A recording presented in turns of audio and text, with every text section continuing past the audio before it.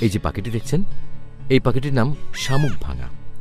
ইংরেজিতে যাকে আমরা বলি ওপেন বিল স্ট্রট এর ঠোঁটটা অনেক লম্বা এবং শক্ত। ঠোঁটটা বন্ধ হয় না। মাঝখানে ফাঁকা অংশ থাকে। এর কারণে এই পাখির নাম ওপেন বিল স্ট্রট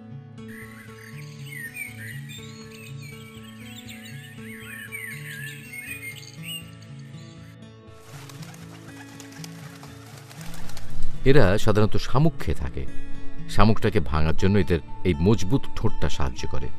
শামুকটা ধরে এরা দু ঠোঁটের মাঝখানে ফেলে শক্ত চাপ দেয়।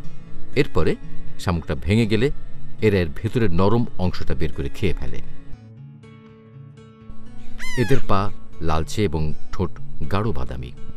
পিঠের দিকে ফিকে রং এবং ওড়ার সব পালক কালো হয়ে থাকে। এরা সাধারণত ছিয়াত্তর সেন্টিমিটার দৈর্ঘ্যের হয়।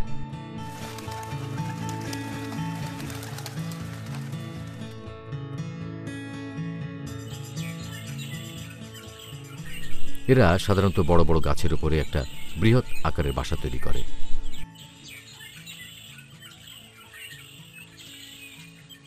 এদের প্রজনন সময় জুন থেকে সেপ্টেম্বর।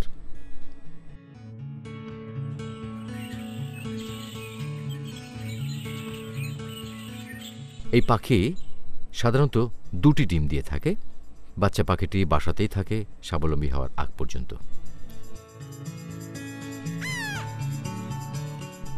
সারা দেশে একসময় এদের বিচরণ ছিল। ক্রমাগতভাবে জলাভূমি হ্রাস পাওয়ার কারণে, বিশেষ করে নদী, খাল, বিল শুকিয়ে যাওয়া, পানি দূষিত, খাদ্য সংকট, প্রভৃতি পরিবেশ বিপর্যয়জনিত কারণে এদের সংখ্যা দিন দিন কমে যাচ্ছে।